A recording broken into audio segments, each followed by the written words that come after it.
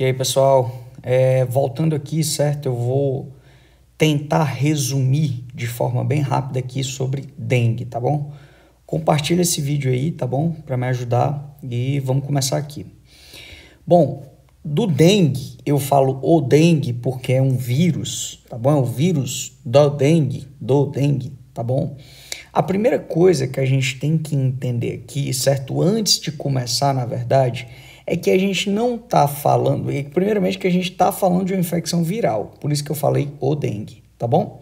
A segunda coisa é que é uma infecção viral transmitida, por, ou seja, é, é, que, que gera infecção através de um vetor, ou seja, não passa de pessoa a pessoa.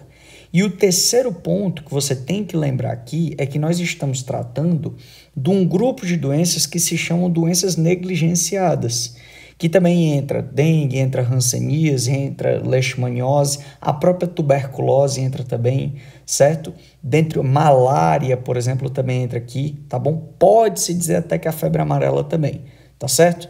Mas entrando um pouco e explicando um pouco sobre o dengue, certo? a gente tem que entender que nós estamos falando de uma arbovirose. Assim como essa, por que, que é uma arbovirose? Porque tem a ver com, com, com a, a transmissão do vetor, tá certo? A segunda coisa que a gente está falando dos flavivírus. Lembra que o vírus da febre amarela também é um flavivírus.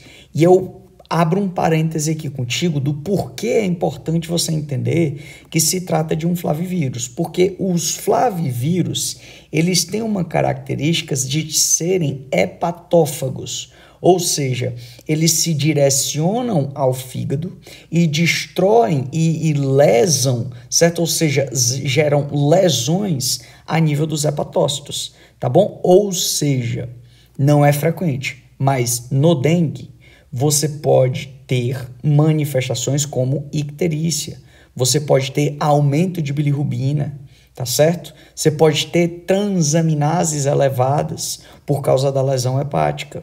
Isso é mais frequente na febre amarela.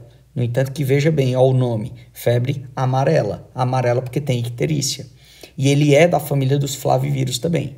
Mas isso é só um detalhe, é um parêntese para você ir aquecendo aqui teu cérebro, tá? E tu ir entendendo aqui o processo de desenvolvimento desse tema. O terceiro ponto é que justamente vai ser transmitido por vetor. Não é qualquer vetor. A gente vai estar tá falando do Aedes aegypti. Aí, tá certo? Para ser mais específico, a gente está falando da, da Aedes aegypti, né? Se você quiser lembrar assim, ou seja, da mosquita, né? Porque é a fêmea, a fêmea desse mosquito que ela é hematófaga, ou seja, ela se alimenta de sangue. Mas veja bem, você tem que entender, primeiramente, que para essa fêmea é, ela, ela se comportar como vetor, para ela transmitir o vírus do dengue, certo? É, ela tem que estar tá infectada. Ou seja, ela tem que ter picado uma pessoa que tem a doença, certo? Ela tem que se infectar.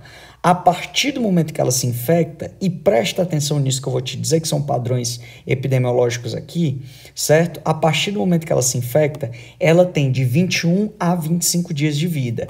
Nesse período, nesse período, ela pode infectar mais ou menos até um 300 pessoas, certo? Ou seja, aproximadamente até 300 pessoas.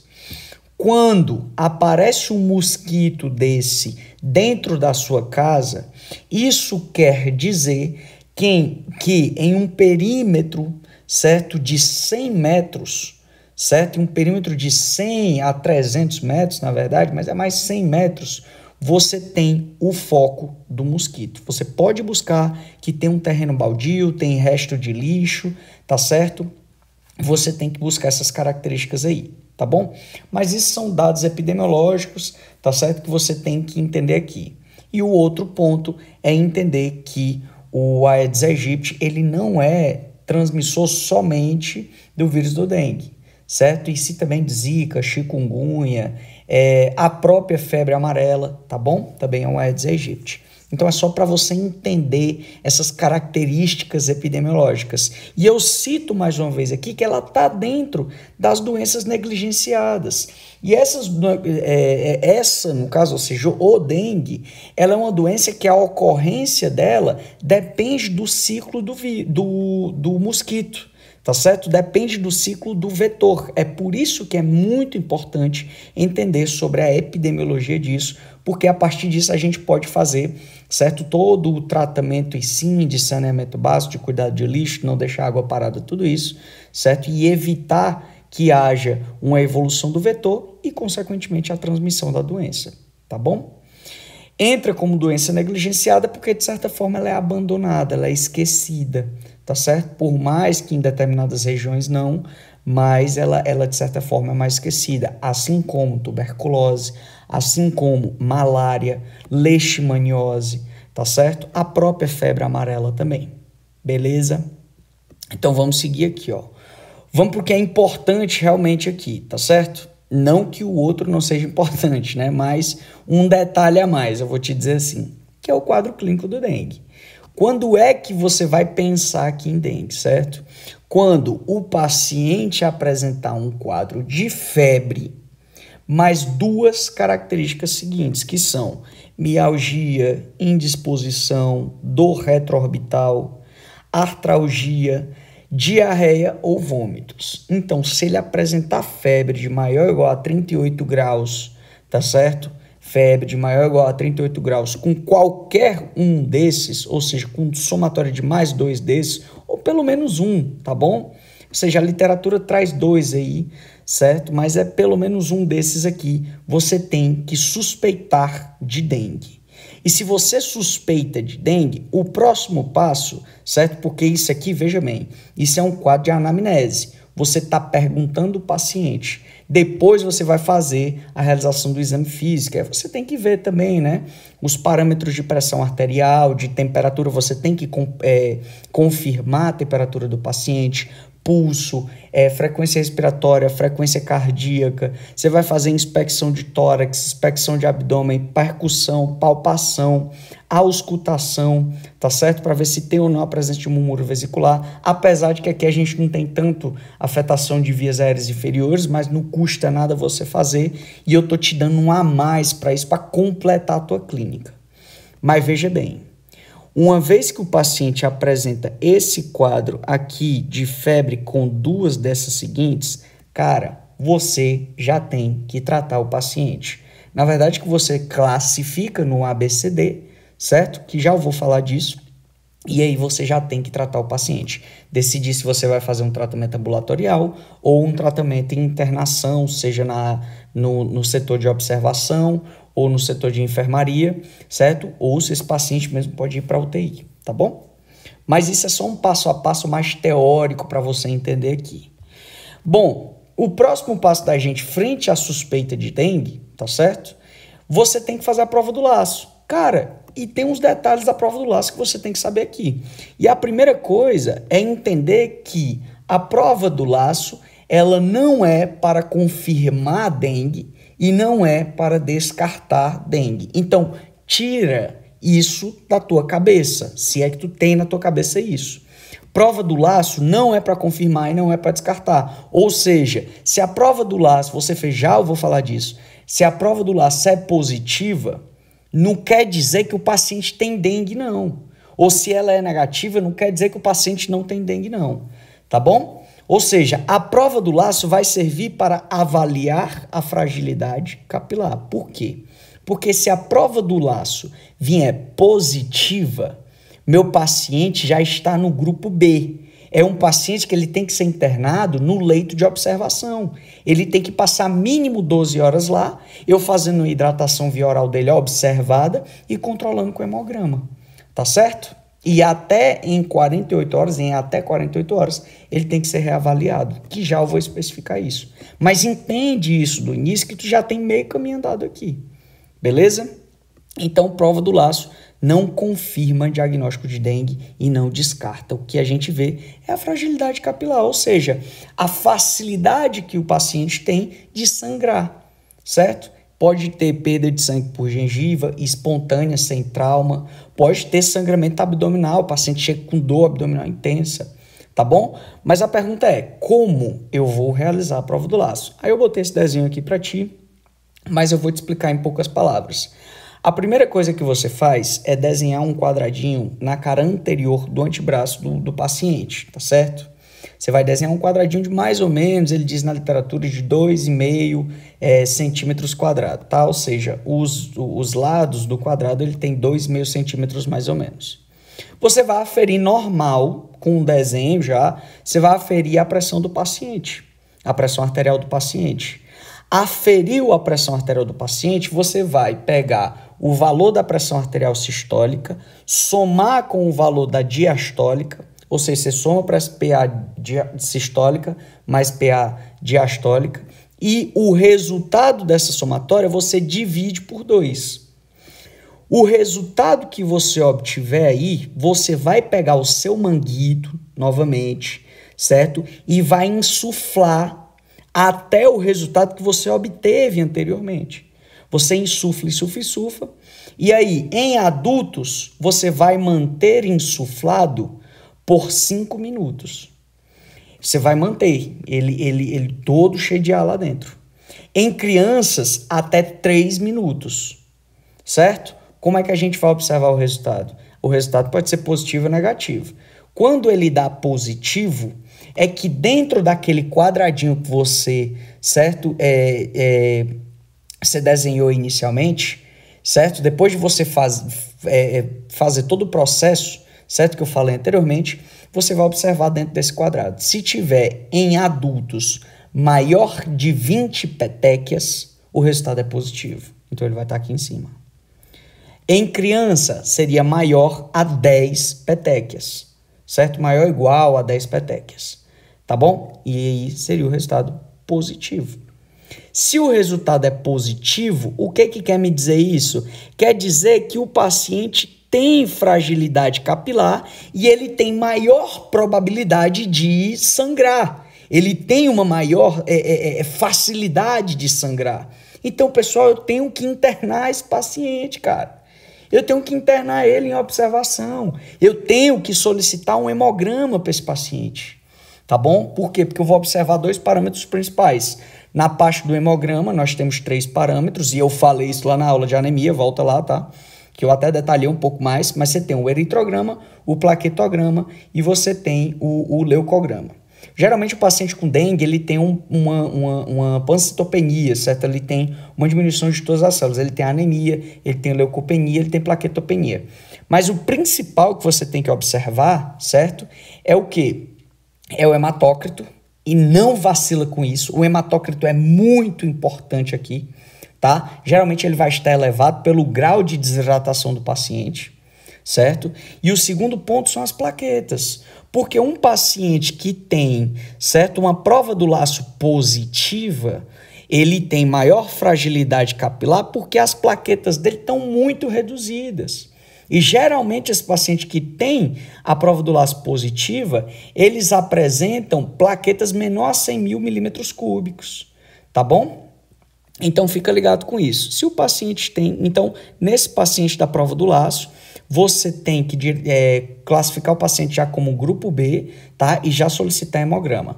Deu negativo, aí a literatura traz que o hemograma aqui ele é, é ele é opcional, tá bom? Você tem que acompanhar o paciente ambulatorial porque ele é um grupo A, tá beleza? Perfeito. Outro ponto que eu vou te dar aqui, já para tu guardar na cabeça, certo?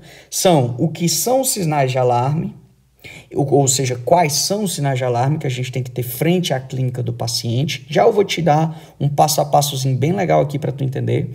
E quais são os sinais e sintomas de choque hipovolêmico, tá bom? Que é muito importante aqui. Preste atenção. Os sinais de alarme é essa lista que tem aqui. Você vai, o paciente chegou com febre, tem artralgia, tem mialgia, certo? Ou tem dor retroorbitária, por exemplo, só que ele refere que há mais de duas horas ele está com a dor abdominal que não passa, que é intensa, ou não tem dor nenhuma, mas a gengiva dele está sangrando. Ou seja, ele tem gengiva hemorragia, né? É, nesse caso, ou seja, tem perda de sangue pela gengiva, certo? Ou o paciente tem acúmulo de líquido. O que, que seria isso? Seria ascite, seria um derrame pleural, um derrame pericárdico. Ou ele está vomitando demais. Só um, um, período da manhã ele já é, é, teve o quadro de cinco, cinco vômitos aí, certo? Então tem que ficar ligado nisso aqui. O paciente pode estar tá benzão, meu irmão. Mas se ele tiver com, a, com, a, com suspeita de dengue e ele tenha é, sangramento gengival, certo? Cara, esse paciente tem que ir para observação, tá beleza? Porque isso é um sinal de alarme. E tu tenta guardar os outros que estão aí, beleza? Para não ficar lendo aqui, eu tô tentando mais te explicar. Preste atenção só num detalhe aqui, ó, que é o aumento progressivo do hematócrito ele entra como critério tá, de sinal de alarme. Então, é muito importante o hemograma na vida do paciente que tem suspeita de dengue. Sinais e sintomas de choque hipovolêmico, só mais um detalhe aqui: paciente com sinal de alarme positivo, certo? Ele pode ser um paciente grupo C ou grupo D. Se ele tiver só os sinais de alarme, ele não, ele é grupo C. Se ele tiver sinais de alarme e apresentar sinais ou sintomas e ou sintomas de choque hipovolêmico, certo? Aí ele já é um paciente grupo D, é um paciente que vai para UTI, certo? Bom, e aí é o clássico, né, do choque hipovolêmico, não tem muito o que discutir aqui, é uma descarga adrenérgica que o paciente vai ter, então ele vai começar a tentar compensar a nível cardíaco com taquicardia, a nível pulmonar com taquipneia, certo? O enchimento capilar dele vai estar tá lento, ou seja, quer dizer isso, você vai lá na periferia, aperta o dedinho do paciente e vai ter um retorno capilar de, de maior a 2 segundos, tá certo? O parâmetro é esse, o certo é menos de 2 segundos, certo? Vai estar tá mais de dois segundos, tá bom? As extremidades frias, a oligúria, muito importante, certo? Aqui no paciente, eu botei até valores aí, ou mesmo até um quadro de cianose quando esteja mais grave o paciente, certo? Então, isso aqui você tem que saber, isso daqui, certo? Você tem que saber os sinais de alarme e você tem que saber os sinais e sintomas de choque hipovolêmico. Beleza? Bom, quais são os exames complementares que a gente vai solicitar? Cara, preste atenção. Exame complementar aqui, ele auxilia. Ele não serve para o diagnóstico definitivo, mas ele vai te auxiliar em muito. Principalmente quem? O hemograma, cara. Você vai ver a série vermelha, que é o eritrograma, paciente pode ter anemia, tá bom? A hemoglobina dele vai estar reduzida. Ou, e, e principalmente você vai observar o hematócrito tá certo? Você vai observar o hematócrito, que geralmente ele está elevado, o paciente está mais desidratado. E o resto, eu botei o resto baixo. Por quê? Porque geralmente o paciente apresenta uma leucopenia e uma plaquetopenia. Guarda isso na tua cabeça. Paciente que chega com febre e qualquer uma das outras características que seja mialgia, artralgia, dor retroocular, certo? O paciente chega vomitando, aí pode ter diarreia, certo? Associada a essa febre, você tem que pensar em dengue, beleza? E se você solicitar um hemograma e lá tiver o padrão de leucopenia, cara, tu tem que pensar muito em dengue, tá bom? Principalmente se vier também associado com hematócrito elevado aí, certo? Beleza, como eu disse anteriormente, a gente está dentro dos flavivírus, as transaminases, veja bem, não é regra, mas elas podem estar alteradas. TJ e TGP pode estar elevado aí, tá beleza? Porque você tem uma lesão hepática, certo? Você tem lesão a nível do hepatócito. E a gente sabe que lesão a nível do hepatócito, hepatócito eleva transaminase, beleza? Bom, mas o diagnóstico definitivo, se é que é necessário fazer, tá? Eu vou botar para ti aqui, é o antígeno NS1. Isso é mais a nível teórico mesmo, tá? Mas na prática também pode ser solicitado quando você vê isso aqui, ó. Tem questão, cara, que traz que na febre amarela você solicita antígeno NS1. Então é bom ter esse conceito aqui na cabeça, que é do dengue, beleza? E o segundo é a sorologia, né? Você vai pedir os anticorpos aí, GG e IgM, para dengue, beleza?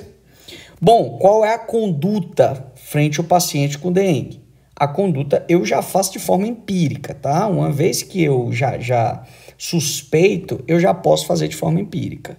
Mas eu vou te dar um passo a passo aqui bem legal para você entender. Ó. Vou suspeitar do DEM, certo? Beleza. vou ver a clínica do meu paciente, tá certo? Conjuntamente com o exame físico, todo o passo a passo que a gente fez anteriormente, certo? A partir disso, o meu próximo passo é observar, é buscar, é procurar, certo? Se o paciente tem sinais de alarme. Ele está com dor abdominal intensa, ele está, e contínua, não? Ele está com vômitos repetidos, ele está desidratado, ele está com sangramento gengival, certo? Ou sangramento em qualquer outra área, certo? Mas que, que não seja é, por trauma, que seja de forma espontânea, tá certo? Se a resposta é não, se ele não tem sinais de alarme, é por isso que você tem que saber o anterior, aí a gente faz a prova do laço no paciente.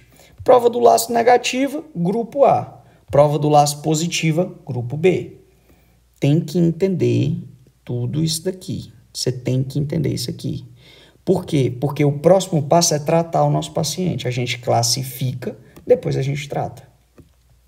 Agora, ele tem sinais de alarme. Eu só tenho dois grupos aqui, ou é C ou é D. O que, que vai diferenciar? Se o paciente tem choque. O paciente não tem choque hipovolêmico, sinais de choque hipovolêmico, ele não tem.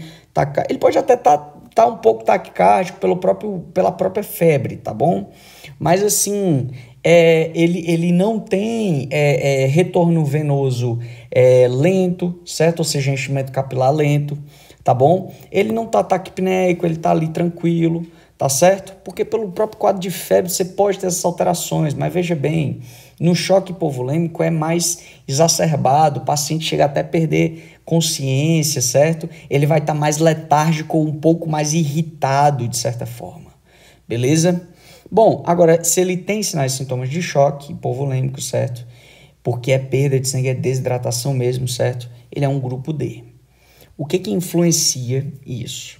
Você vai ter grupo A, certo? Que é aquele paciente somente com febre.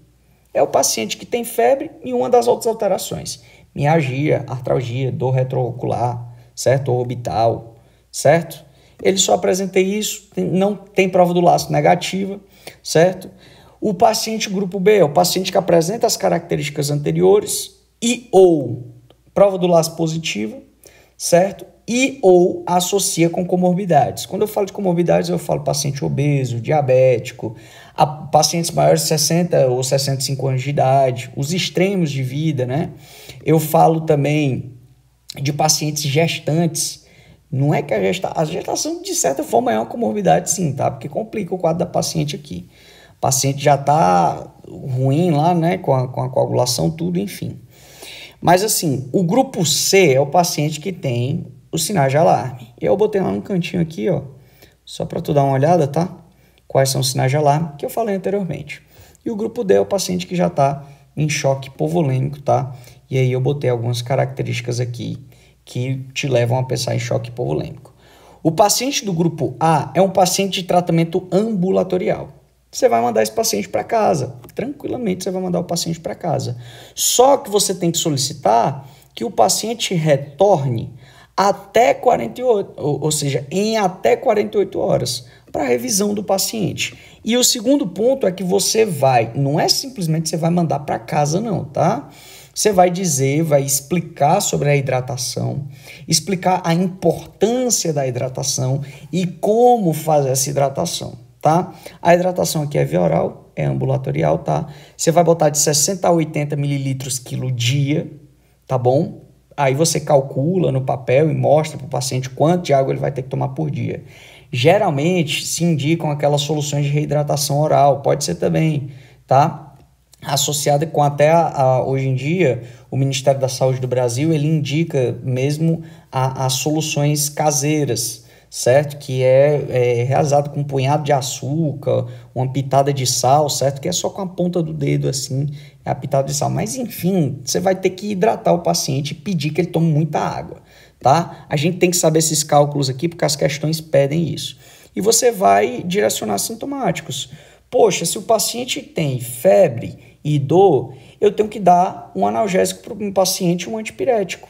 Qual o melhor de todos? De pirona tá? Você vai indicar de pirona nele. É, no caso de adulto, você pode indicar de 500 miligramas ou de 1 grama, certo? E no caso de criança, você tem que calcular, tá bom? Porque é segundo o peso, você divide lá por 3, beleza? É, ou paracetamol pode ser também, tá? O grande detalhe é que você não pode utilizar anti-inflamatórios não esteroidais aqui, tá bom? Então indica um desses dois que eu falei anteriormente, pirona ou paracetamol. O outro quadro é que se o paciente estiver vomitando, né? Se ele estiver vomitando, é você dar um antiemético para ele, uma ondacetrona, pode ser, tá bom? Beleza, você tem que ensinar o paciente e ao acompanhante, se ele estiver presente, os sinais de alarme, que são esses aqui, ó, tá bom? Você tem que ensinar o paciente isso, porque se ele tiver nesse período de até 48 horas, poxa, ele tem que retornar. E o outro ponto é, como eu disse anteriormente, você tem que reavaliar o paciente em até 48 horas. O grupo B é aquele paciente que ele vai ser internado no leito de observação. É aquele paciente, veja bem, é aquele paciente que eu posso dizer até que ele é um intermédio. Por quê? Porque ele pode estar intermédio para o C, de piorar com sinais de alarme, ou ele pode estar intermédio e voltar para o A, de melhorar e poder ir para casa. Então você vai deixar ele internado lá e você vai indicar hidratação, nesse caso ainda, via oral. Guarda isso daqui. A hidratação no B, ele é via oral. Então, se o paciente tiver as características clínicas, você fizer a prova do se ela está positiva, tá aqui. Ele está no B. Você tem que indicar a hidratação via oral. Tá beleza? Ou se ele tiver alguma comorbidade, é um paciente cardiopato. O paciente há um ano, há seis meses, ele teve um infarto agudo do miocárdio. Meu irmão, interna. Interna ele na observação. Beleza? Por pelo menos 24 horas. E você tem que solicitar, veja bem, você tem que solicitar, não esquece isso, você tem que solicitar hemograma para o paciente e avaliar o hemograma no mesmo dia. Não é fazer hoje para avaliar amanhã, não. Você vai avaliar o hemograma desse paciente no mesmo dia, tá certo? Você tem que fazer isso. E você vai dar sintomáticos para o paciente, o mesmo, de pirona ou paracetamol. Se ele estiver vomitando muito, eu vou dar antiemético para ele. Grupo C, que é o paciente que apresenta já os sinais de alarme desde o início, certo? Você tem que internar na enfermaria, tá bom? E manter ele internado lá por pelo menos 48 horas, tá certo? Você tem que controlar esse paciente durante esse período aí. Outro detalhe é a hidratação aqui, que você vai fazer e guarda esses números, que é importante. É uma hidratação já endovenosa, porque ele já está internado na enfermaria, certo? Você vai administrar 20 ml quilos em duas horas, ou pode ser 10 ml quilo em uma hora. É a mesma coisa. Eu só fiz reduzir, tá? Você pode ser 20 ml quilo em duas horas, tá? Ou 10 ml quilo em uma hora. É mais fácil, né? De, de, de calcular, mas é a mesma coisa, beleza? E no grupo D, você tem que internar esse paciente na unidade de terapia intensiva, certo? UTI, ou UCI, que é a unidade de cuidados intensivos. Por quê? Porque pessoal, pessoal, o, o paciente está em choque. Ele está em choque povolêmico, poxa. Você tem que recuperar esse paciente rapidamente. No entanto, que veja bem, aqui no C você tem duas horas. Aqui no D você tem 20 minutos para passar o mesmo.